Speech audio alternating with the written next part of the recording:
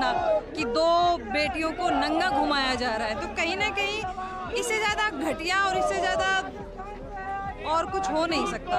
हमारे पास कहने के लिए शब्द नहीं है और इस देश के प्रधानमंत्री को फुर्सत ही नहीं है कि वो मणिपुर जा सके या इस मुद्दे पे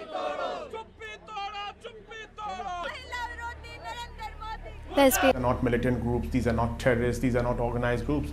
These are local people, people of one ethnicity fighting ag- against other ethnicity, and where the state seems to have been divided on ethnic lines. The state police is whether it's a Meitei or a Kuki, they're divided. So the fact that everyone is divided and everyone is fighting each other uh, actually makes it as close to civil war as it could.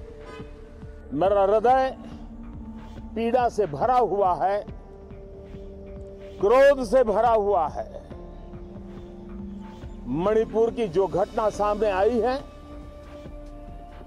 किसी भी सभ्य समाज के लिए ये शर्मसार करने वाली घटना है।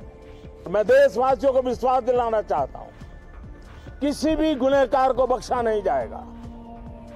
कानून अपनी पूरी शक्ति से, पूरी सख्ती से एक के बाद एक कदम उठाएगा। मणिपुर की इन बेटियों के साथ जो हुआ है इसको कभी माफ़ नहीं किया जा सकता। है